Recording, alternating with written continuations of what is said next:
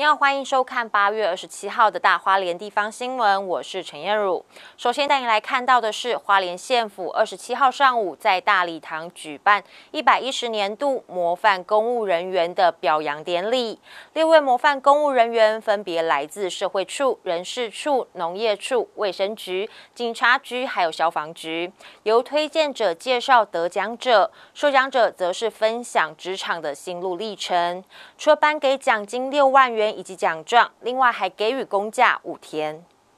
一一零年，依据花莲县政府表扬模范公务人员要点，遴选花莲县模范公务人员，经评选核定，计有六人，分别为花莲县府社会处科长黄资华、人事处科长刘玉红、卫生局科长陈忠才、警察局侦查组李忠豪、消防局小队长彭康佑以及农业处科长郭世强六位。既然成为公务员。而且是全国最优秀的人物，在国家的这个公务机构里面，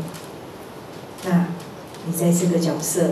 就要常常去思考，如何让百姓能够安心在这个地方安居乐业，得到他的所需。因为每一这个局处都有非常优秀的公务员，他们要把他提报出来，你们要好好谢谢你们的首长。因为啊，他们啊是那个是那个那个靶，被会会一直被被被打哦。像那个卫生局也有很多很多优秀的，所以啊，他会提报那个中裁啊。所以啊，因为应该有很多觉得说，我也是啊，我也是啊，所以哦，这个局数上很难为，所以你们要谢谢他们。但是我想，考纪委员和这个考这个委员会在做很好的筛选的时候，我想也是秉着秉持的公平、公正、公开。因为有各乡镇有所有四千多个公务员受到很多的大家一起的推荐，共同的推荐。今年六位，我们真的要感谢您，成为花莲县啊所有公务员的标杆、学习的榜样啊！再一次精益求精，更上层楼。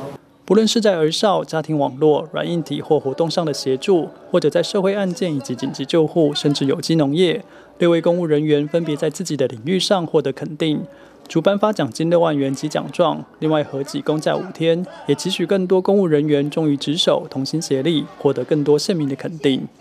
记者蒋邦彦华联市报道。